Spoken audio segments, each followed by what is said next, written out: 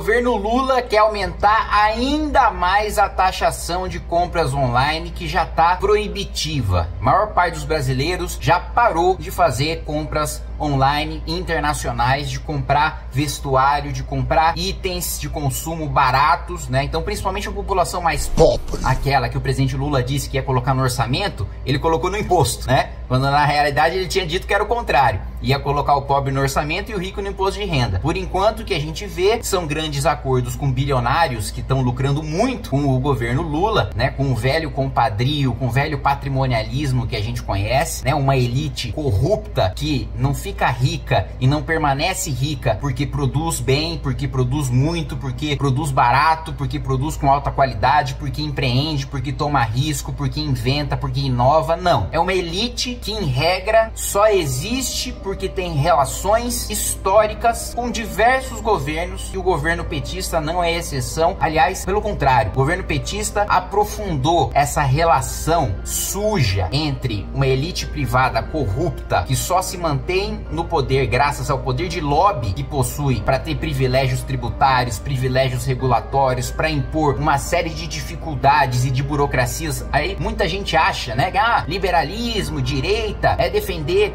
iniciativa privada a todo custo, é, é defender né, é, os interesses de grandes empresas e por aí vai, meu amigo. A regra, a regra, há exceções, mas a regra de grandes empresas no Brasil, de grandes negócios no Brasil, de grandes bilionários no Brasil, são negócios familiares que tiveram é, contatos privilegiados com o governo e que não são liberais coisa nenhuma. A regra do grande empresariado brasileiro não é ser liberal. Pelo contrário, quanto mais burocracia, quanto mais regulação, quanto mais entraves e mais dificuldades eu tiver para ter um negócio no Brasil, melhor para as elites corruptas, porque elas têm dinheiro para conseguir fazer planejamento tributário e não pagar o mesmo que o resto. Mesmo quando ela não faz planejamento tributário, ela consegue por poder político de lobby, por lei, garantir privilégio tributário, ela consegue cumprir todas. Vou fazer uma analogia que eu costumo fazer com certa frequência, né? Vamos supor, vamos supor que fosse aprovada, né, uma lei que obrigasse todos os restaurantes a terem copos de cristal, porque copos de cristal são mais limpos, são melhores para o consumidor e porque o consumidor merece ter acesso a um copo de qualidade. Vocês acham que as grandes redes de restaurantes, de restaurantes caros, restaurantes chiques, iam se importar com essa regulamentação? Eles iam comemorar. Eles iam falar: olha, agora pobre não abre mais restaurante. Agora, restaurante legalizado só aqui pra gente da elite. E é isso que acontece com um monte de regulamentação e de burocracia inútil. É assim que um monte de oligopólio no Brasil sobrevive. Oligopólio de banco, oligopólio de telecomunicação, oligopólio de companhia aérea, um monte de serviços que a gente sabe de empresas que se mantêm no poder, que se mantêm no topo, porque fazem esse tipo de lobby nefasto para manter a sua reserva de mercado. Pois bem, bem, dito isso, né, todos nós conhecemos o programa Remessa Conforme, aquela tributação ilegal imposta pelo ministro Fernando Haddad pelo presidente Lula. Por que ilegal? Porque a isenção de compras até 50 dólares é garantida por lei. E a tributação do remessa conforme é por decreto. Ah, mas pouquinho se é ilegal, por que que persiste?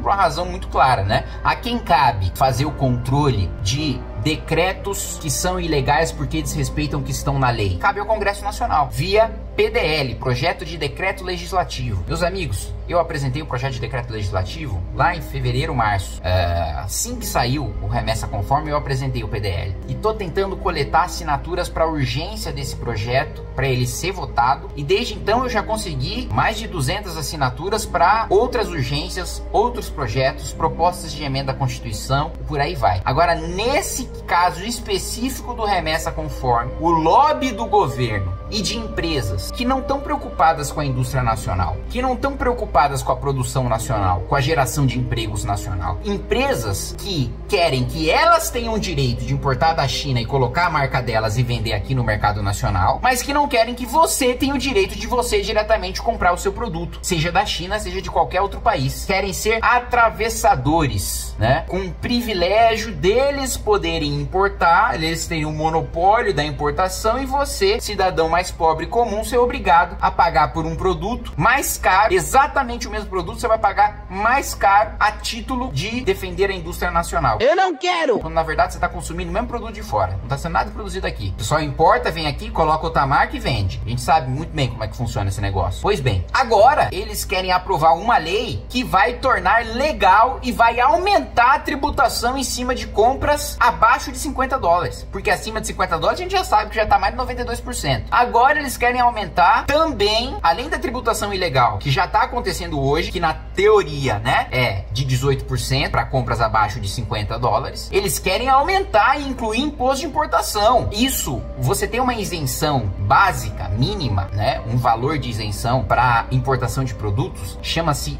de minimis. De minimis é uma coisa, uma prática, uma legislação né, que existe no mundo inteiro. A média mundial de de minimis, aliás, é de mais de 200 dólares, tá? Aqui no Brasil é 50 dólares. E não é novo isso. A indústria nacional agora vai ser destruída por causa desse novo negócio. Não, isso existe mais de 30 anos. O de minimis no Brasil de 50 dólares existe há mais de 30 anos. Vamos falar que é um negócio agora que vai destruir a indústria, não destruiu nos últimos 30 anos, não é agora que vai destruir. O que destrói a indústria brasileira é nem a grande indústria se organizar para aprovar durante os últimos 40 anos uma reforma reforma tributária decente, uma reforma administrativa decente, trabalhar para a gente ter uma infraestrutura decente e a classe política muito menos. O setor privado não se organiza para ser competitivo nacional e internacionalmente e a classe política não atende. A classe política atende à reserva de mercado de quem produz produto ruim e caro, mas ainda assim consegue se manter no topo pelos privilégios que tem com o governo.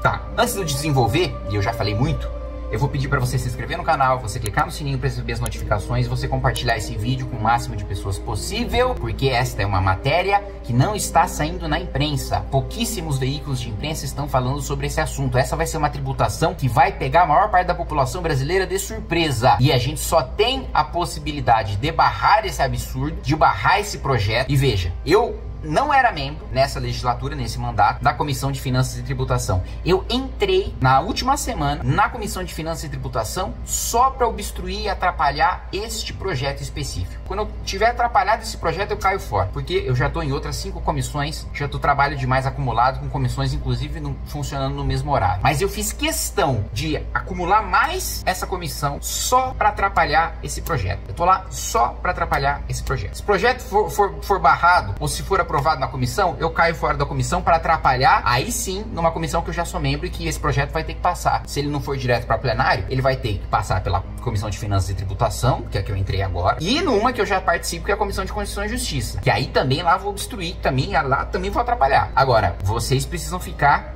atentos para esse projeto. É um projeto que está sendo relatado pelo deputado Paulo Guedes, do PT, presidente da Comissão de Finanças e Tributação, e que visa acabar com a isenção de até 50 dólares. Então a tributação do Haddad não só vai passar a ser legal, vai ter respaldo na lei, hoje é ilegal, a gente consegue derrubar. Falta o quê? Mídia em cima, falta população fazer um esforço, porque eu tive muito apoio popular, por exemplo, para coletar as assinaturas para a urgência do projeto que aumentou eu que, e que eu aprovei a urgência e o mérito do projeto, já está no Senado, projeto que aumentou a pena para furto, roubo, receptação, latrocínio, por aí vai. Consegui apoio popular, a gente se engajou, a gente conseguiu e a gente foi lá e aprovou. Demorou aí quase um ano inteiro, mas a gente conseguiu. Agora, esse PDL, meus amigos, eu não consegui nem 50 assinaturas ainda, eu preciso de 171. Não teve engajamento, nem político, nem popular para a gente conseguir encampar esse projeto. Consegui o número é, necessário de assinaturas para o meu PL que acaba com a máfia das autoescolas, que acaba com a obrigatoriedade de você passar por uma autoescola para você fazer um exame. A gente já vai adotar modelo americano, modelo de país desenvolvido, que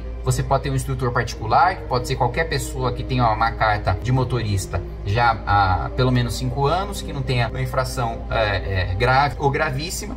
E aí esse sujeito pode ser um instrutor particular e você pode ter aulas com ele, como acontece nos Estados Unidos. Conseguir as assinaturas para esse projeto. Não conseguir para o PDL, que acaba com remessa conforme. Agora, nem sei se vale a pena continuar trabalhando nesse PDL. Por quê? Porque eles estão avançando agora nesse projeto. E esse projeto agora é o que a gente precisa focar. É o que a gente precisa fazer barulho para barrar, para atrapalhar. Eu vou puxar aqui agora para vocês o número exato do projeto para vocês saberem e não serem pegos de surpresa. É o projeto de lei de número 2339 de 2022. O autor é o deputado Félix Mendonça Júnior, do PDT, e o relator é o deputado Paulo Guedes, do PT, presidente da CFT. Vamos trabalhar para derrubar esse projeto e eu estou contando muito com a ajuda de vocês. O que eu consigo fazer lá na Câmara, eu sou um só. Eu consigo ganhar tempo e eu consigo fazer barulho. E é isso. Quem reverte votação é você pressionando os deputados do seu estado.